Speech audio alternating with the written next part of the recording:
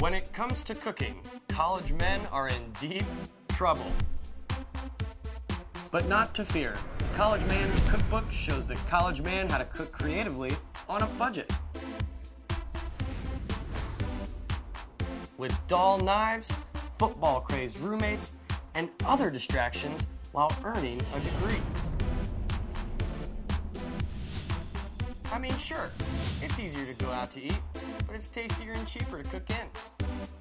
You finance majors should know that.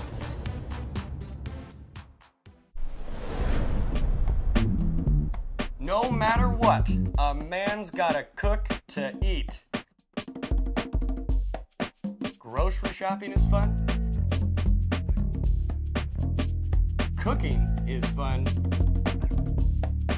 But eating is funner.